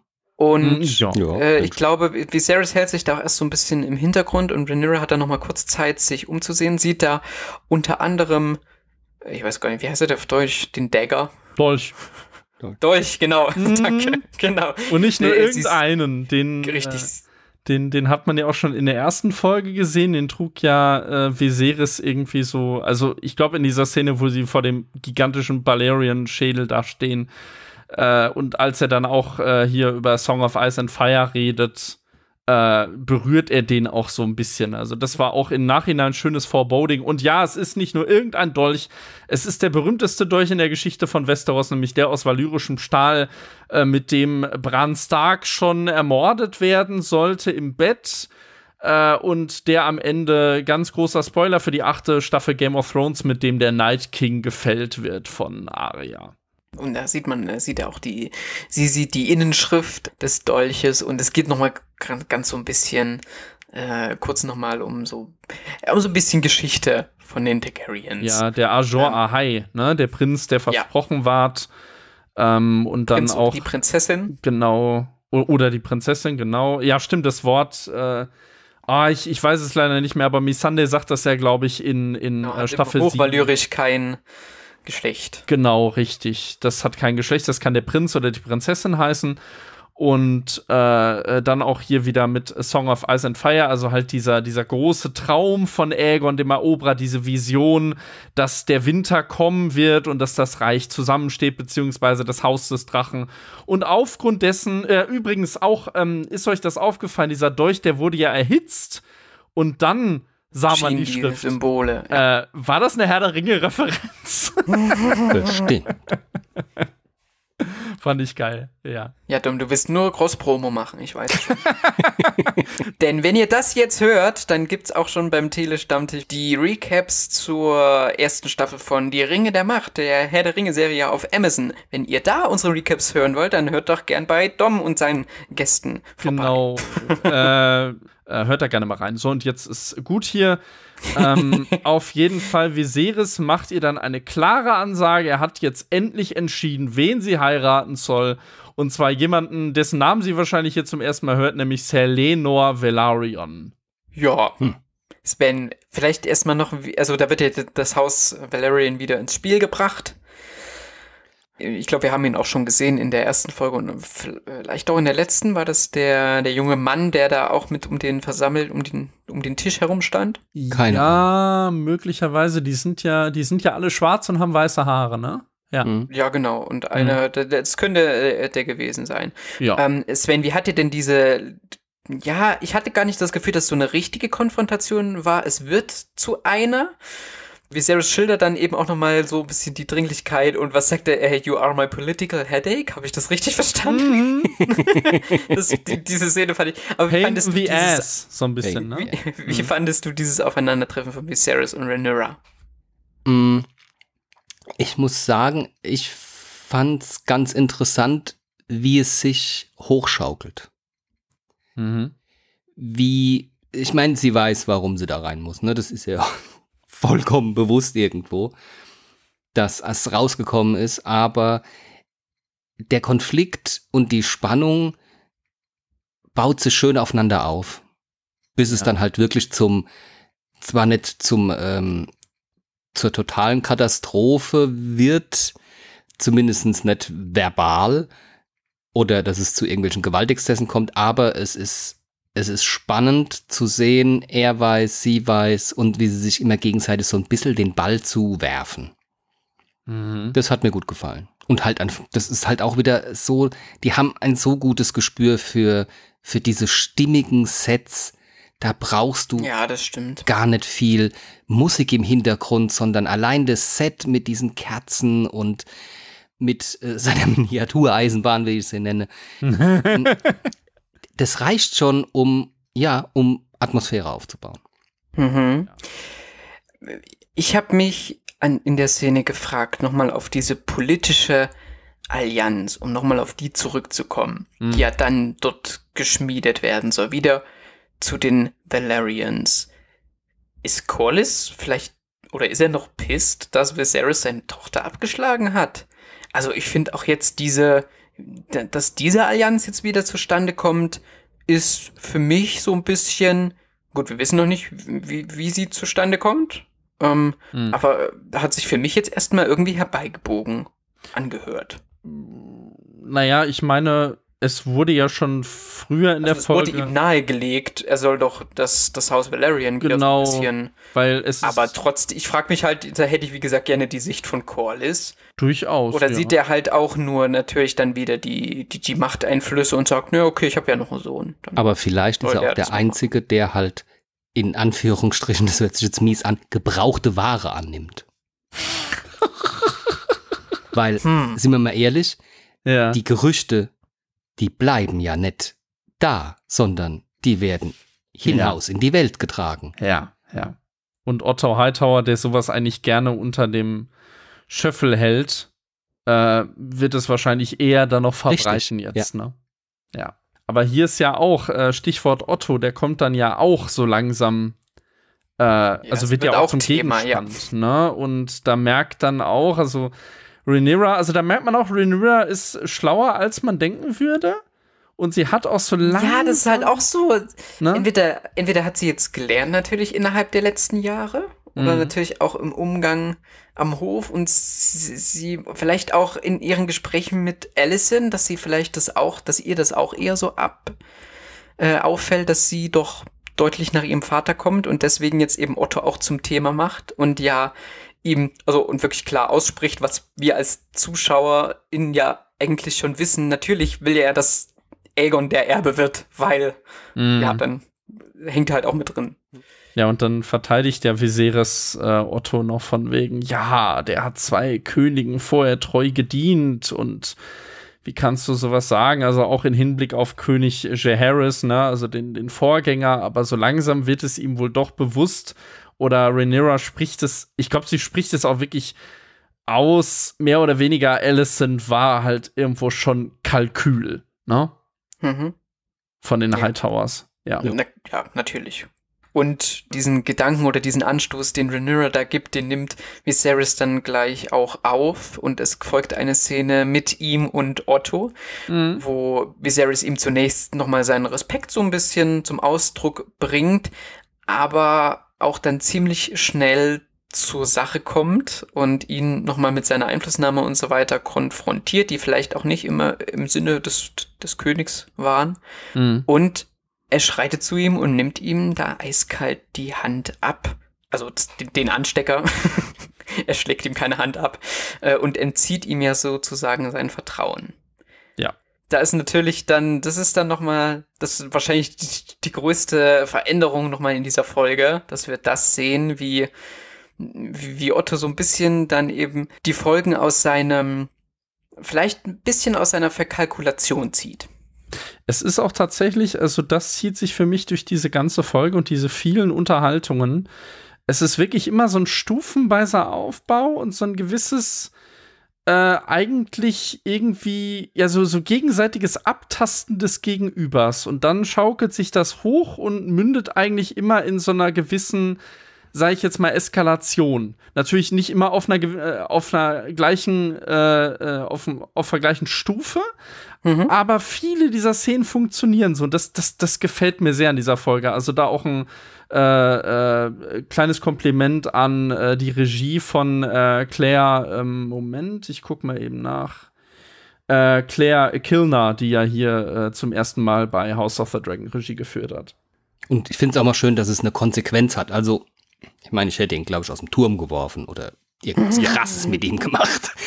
Aber es hat endlich mal eine Konsequenz. Sein Handeln, sein in Anführungsstrichen Plan, ich glaube zwar nicht, dass er alle, das komplett alles aufgeflogen ist, aber es wurde zumindestens mal, und das finde ich ganz gut, auch mal drauf reagiert, was so die Tochter und was halt auch zu, das, das kleinere oder das engere Umfeld einfach sagt. Und sagt, ey, der Typ, mm, mm, mm, mm, mm aufpassen. Ich bin, ich bin gespannt vor allem, was diese Entwicklung für einen Effekt auf die Beziehung zwischen Allison mhm. und Viserys haben wird. Ähm, auf der anderen Seite, das, das fand ich auch ganz toll.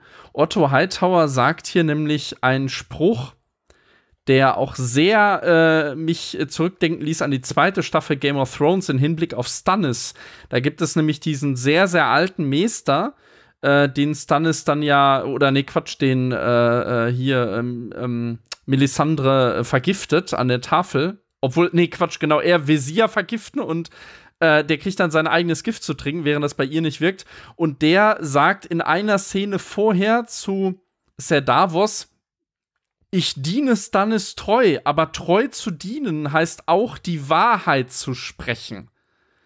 Und da, also so, so, sowas in die Richtung sagt dann auch Otto Hightower. Er sagt, eine treue Hand spricht auch unangenehme Wahrheiten aus, auch wenn der Herr sie nicht hören will. Ne? Da merkt man, dass, also dahin zumindest äh, ist Otto Hightower dann schon irgendwo ein besonderer Ratgeber, der aber trotzdem irgendwo weiß, wie er Einfluss auf Viserys ausüben kann, mhm. zu seinem eigenen Vorteil dann. Ne? Mhm. Es wird noch spannend, tatsächlich. Ja, wie es jetzt davon weitergeht, ich bin auch gespannt. Ich hoffe, äh, So ein bisschen, ich hab, wir haben keinen Zeitsprung in dieser Folge. Oh, Aber ja. nicht, dass wir nächste Folge einsteigen, 15 Jahre später. Nee, übertrieben. aber fünf Jahre später gucke, ja, sie sind jetzt seit fünf Jahren die Hand des Königs. Ja, Mhm. sie haben ja gar nichts, äh, wie läuft's? Also, das hoffe ich tatsächlich nicht. Ähm, ich weiß es aber nicht. Ich, ja, wir werden es sehen. Wir schließen noch mit einer letzten Szene in dieser Folge ab. Und wie gesagt, ich war ein bisschen überrascht, dass das tatsächlich die letzte Szene ist. Wir sehen einen Meister, der da, oder den Meister, den, der einen Tee auf einem Tablett äh, serviert oder durch, erst durch die, durch die Gänge trägt und dann zu Rhaenyra bringt und ihn dort abstellt und sie, sie fragt auch noch so, was ist das? Und er meint, das ist ein Tee. Mhm. Und sie, die, die, die Folge blendet dann quasi ab und Rhaenyra guckt noch so auf den Tee und da war ich dann kurz verwirrt oder Ja. unsicher, was mir diese Endszene denn jetzt sagen sollte. Ich habe gedacht, was ist jetzt der Deal mit dem Tee? Warum setzt ihr den hier so in Szene, als wäre da Gift oder so etwas? Ja. Deswegen, da war ich zunächst, hm. Ähm, aber Sven, äh, was hattest du darin gelesen oder was hast du darin gesehen? Es gibt, also für mich gab es mehrere Möglichkeiten, wobei ich mich für eine entschieden habe und das ist sozusagen ein, ein Abtreibungstee, um Mhm. ein äh, Inzestbaby zu verhindern. Ja, und das unterstreicht dann natürlich dein, Entschuldigung, das unterstreicht dann dahingehend vielleicht auch nochmal, das Gerücht äh, verbreitet sich bereits wie ein Lauffeuer, ne? Richtig. Und es ist, also da gibt's, man kann wirklich viel draus lesen. Und aber was mich an der ganzen Sache einfach und da würde ich dann auch eher so zu, äh, zu Damons Plan tendieren, dass ich glaube, er wusste, dass es passiert. Deswegen, er hat aufgehört, sie kriegt den Tee, sie denkt, okay, alles klar, mein eigener Vater will verhindern, dass, falls ich doch schwanger wäre, dass das Kind stirbt, Mhm. die, also äh, Egon der Zweite auf dem Thron landet. Was ich aber noch viel krasser finde, ist, ich meine, wir haben gesehen, was bei der ersten Komplikation äh, oder bei der ersten Geburt passiert ist. Und jetzt kommt der Master und serviert dir irgendwas, was das Leben in deinem Körper zerstört. Aber sind wir ehrlich, du weißt nicht großartig, was mit dir passiert. Ich meine, das erste Mal haben sie schon vergurkt. Es könnte jetzt auch gut sein, dass sie tatsächlich vielleicht auch trotzdem daran stirbt. Und das Mhm. fand ich schon sehr krass, gerade für jemanden, der ja seine Königin, seine Verstorbene ja so extrem liebt und auch für seine Tochter Und das teilweise Beste schon möchte. nur das Beste möchte und auch drauf einstiegt und ja auch ähm, hier Dämon verprügelt und sagt, jetzt ist der Kanal voll, aber dann präsentiert er sowas. Ja. Es also, könnte natürlich gut. auch sein, dass es die Ja. Königin war oder Otto. Es gibt Mhm. wirklich viele Möglichkeiten und man kann das in alle möglichen Richtungen ausbauen. Aber für mich ist, glaube ich, wirklich so dieses, das ist der Abtreibungstee. Ja, Ja, das- okay, siehst du, daran hatte ich tatsächlich auch, daran weiß ich nicht, warum ich daran nicht gedacht habe. Ich meine, die Gift habe ich halt von Anfang an ausgeschlossen, weil was, Ja, also, warum soll er sie vergiften? Genau, und außerdem, also wir wissen ja auch schon, dass Rhaenyra noch, oder, Man, man, weiß ihr, wisst, was man schon in Game of Thrones sagt, wenn, also wenn es Gift ist, Gift äh, ist die Waffe der Frauen, die heißt Waffe der es. Frau. Ja, aber Ja. wir wissen doch, dass Rhaenyra noch eine, eine weitere Rolle spielen wird. Deswegen Ja, ja, ja, ja, natürlich. Also ich, ich muss sagen, im Nachhinein fand ich die Szene sehr interessant. Erst war ich so ein bisschen generell, ähm, das muss ich auch noch mal sagen, weil ich eigentlich gerade eben die Regie gelobt habe. Und das fiel mir, also diese Folge endet irgendwie ein bisschen plötzlich und lässt einen so ein bisschen ratlos da sitzen. Und es zieht sich wirklich so auch für mich quer durch diese Folge, dass du immer mal wieder so Szenen hast, die förmlich ja abgebrochen wirken. Also ich, ich weiß nicht, ob es ein Stilmittel ist und ob es irgendwie, ähm, also man, man kann es sowohl positiv als auch negativ sehen. Negativ insofern, ähm, dass sowohl vom Skript als auch von der Regie äh, das ein bisschen ungelenk ist, wie man Szene auflöst. Zum anderen, ich, also ich, ich habe auch im Hinblick auf diese Bordellszene, habe ich das Gefühl, dass es auch ein Stilmittel ist irgendwo. Und das finde ich dann auf der anderen Seite auch wieder reizvoll. Also ich, ich sehr ambivalent, stehe ich dem gegenüber. Wobei ich finde, dass ich nicht glaube, dass es, also schon, es ist schon ein Stilmittel. Ich glaube nicht, dass die da ungeschickt bei der, bei der Regie sind und nicht wissen, wie man jetzt eine Szene in Wohlgefallen auflöst, sondern ich glaube, dass das schon alles bewusst gesetzt ist.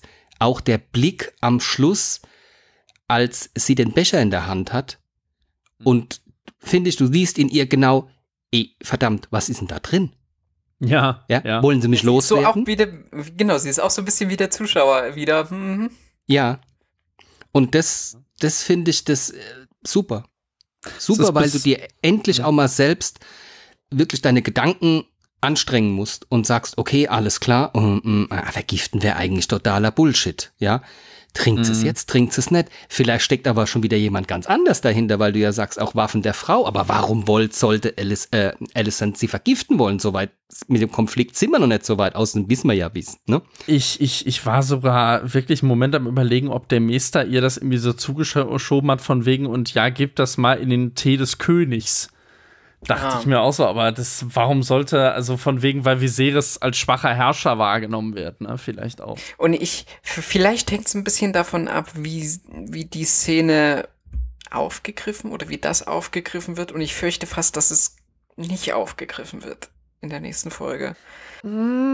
Ich glaube schon. Also ich, ich würde es mir hoffen, weil also es, es fühlt Weil sich, sonst wie hätte sie- gesagt, Sonst hätte die Szene auch überhaupt, also da hätte sie ja wirklich absolut null Sinn. Ich, wie gesagt, also ich, wie, ich kann über Folge 5 noch nichts sagen. Ähm, und ich werde wahrscheinlich auch dieses Ende erst dann nochmal einordnen können, wenn ich Folge 5 gesehen habe. Ja, Dann das denke ich, wird sich da nochmal was entwickeln, je nachdem, wie das aufgegriffen wird. Ja, es ist, äh, also man muss sagen, es ist nicht einfach nur ein billiger Cliffhanger oder sonst was, sondern es Es ist, Regt genau, es ist eben, es ist so, ja, genau, es ist, ich finde es auch nicht so, er ist eben nicht so offensichtlich oder so wie andere, wo nochmal, wo, wo was Richtiges angeteasert wird, wie den Crabfeeder am Ende von Staffel 2 oder so. Aber ja, sie, sie sie hinterlässt auf jeden Fall den, das Publikum mit etwas.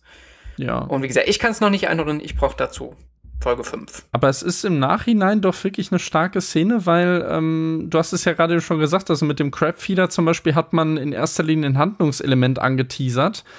Und hier habe ich den Eindruck, wird halt auch endlich mal so ein bisschen der Zuschauer aktiviert. Und das Mhm. funktioniert insofern, weil wir eben mit Rhaenyra, also wir haben es ja wirklich schon oft gesagt, dass Rhaenyra oft das denkt oder ausspricht, höchstwahrscheinlich, was auch so beim Publikum vorgeht. Und deshalb funktioniert diese Szene gerade über ihre Figur. Ja, und vielleicht ist es halt auch so dieser, ja, dieser Tick.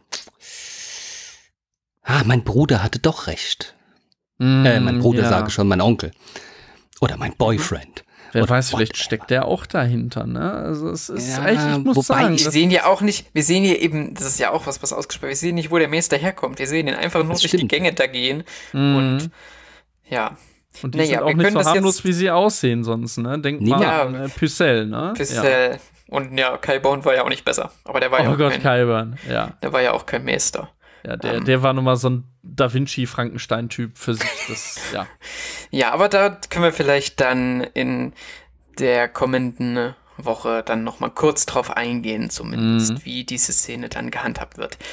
Boah, ich hätte echt nicht gedacht, dass wir über die Folge tatsächlich auch wieder auf so eine Laufzeit kommen. ja. Ich hätte tatsächlich gesagt, das fällt ein bisschen kürzer aus. Mhm. Ähm, ich, ich weiß gar nicht, ob ich es nochmal groß zusammenfassen muss. Leider schafft's immer noch nicht so richtig, mich zu catchen und ich muss jetzt tatsächlich langsam, langsam komme ich an so einen Punkt, wo ich mich frage, ob ich die Serie dann tatsächlich so intensiv verfolgen würde, wenn ich jetzt hier nicht das Recap machen würde. Mhm. Und das ist immer mh, kein gutes Zeichen.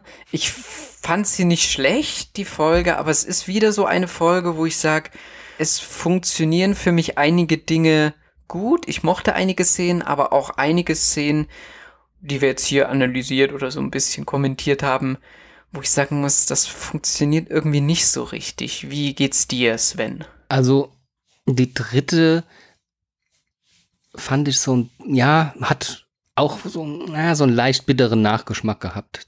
Mit der vierten und gerade so mit diesen, diesen Andeutungen und du weißt vielleicht doch nicht, in was für eine Richtung es geht, haben sie für mich wieder Fahrt aufgenommen, aber nichtsdestotrotz ist es viel Information und wenn man sich nicht selbst bemüht oder halt krasse Freak ist wie ihr zwei, dann musst du wirklich und du dich halt einfach dafür interessierst und sagst, okay, gut, jetzt will ich da mal ein bisschen mehr ein, musst du halt wirklich nachlesen. Das finde ich ein bisschen schade. Das nimmt für mich auch ein bisschen Spaß an der Serie. Ansonsten sind sie auf einem guten Weg.